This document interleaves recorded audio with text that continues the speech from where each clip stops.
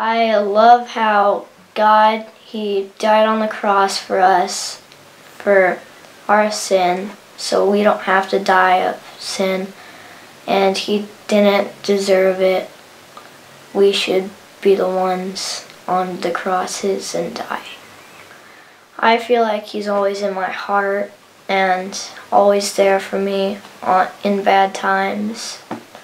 And He won't ever not be around. He is always there.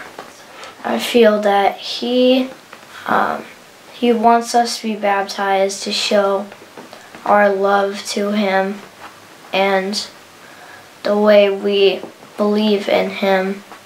It's just a way to show other people that you believe in God and want to be a follower of Jesus.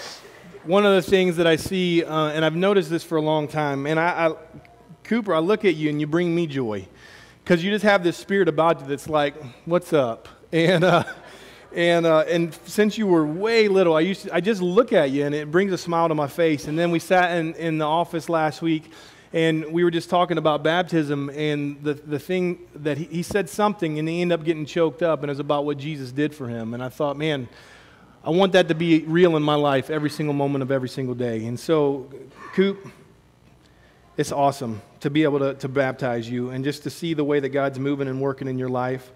Because of, of the, the confession of faith that you made because jesus christ is your lord and savior i baptize you in the name of the father the son and the holy spirit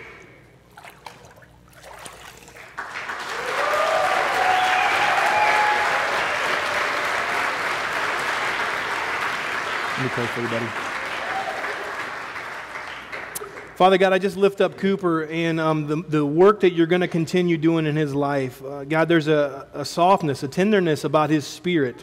And um, it's been a joy just to watch him grow and develop. God, I pray that as he continues to, to, to live and to walk the face of this planet, that you would use him in mighty ways to draw others into your kingdom. Um, thank you, thank you that the, the way that you um, have shaped him and formed him that when people look at him, he brings a smile to their face. And that's so awesome, God.